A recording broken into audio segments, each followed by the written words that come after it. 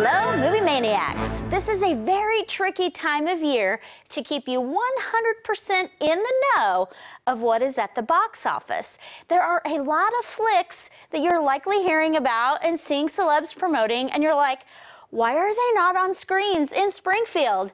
It's a thing called limited release. Films are released quickly on a certain number of screens nationwide before the holidays to be considered for awards contention, which is a huge, huge determination of the monetary success of films.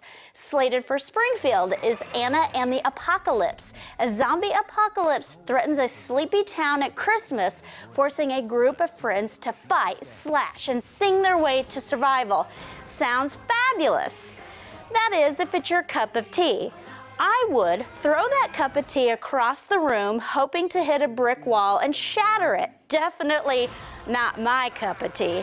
Green Book will oh, be making its way to Springfield in December, starring Viggo Mortensen and Mahershala Ali, and Favorite this is winning awards all over the place. That will make its way in a couple of weeks. This stars Emma Stone and Rachel Weisz. Also swirling out there is Mary Queen of Scots. Mary Stuart's attempt to overthrow her cousin Elizabeth, the Queen of England, finds her condemned to years of imprisonment before facing execution.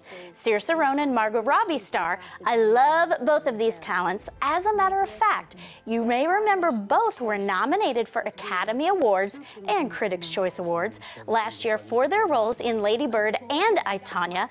And of course, the great Frances McDormand won for Three Billboards Outside Ebbing, Missouri, which she deserved. I'm excited to see Ben is back it should make its way to Springfield as well, with the incredible Julia Roberts and the young, talented Lucas Hedges about a drug addicted teenage boy who shows up unexpectedly at his family's home on Christmas Eve. And hopefully, Dumplin will show up on some screens too. This is one of those releases that is also going to show on Netflix. But seeing something in a theatrical experience is always, always my choice. Jennifer Aniston, she's the former beauty queen, and she has a plus size daughter who signs up to follow her footsteps.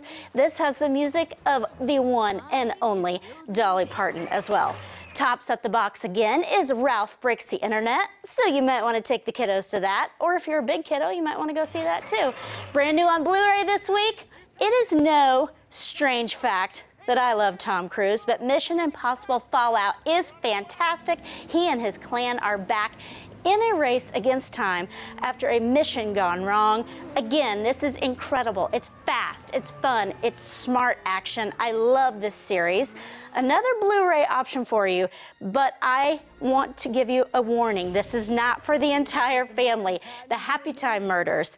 When the puppet cast of a 90s children's TV show began to get murdered, one by one, a disgraced LAPD detective turned private eye puppet takes on the case.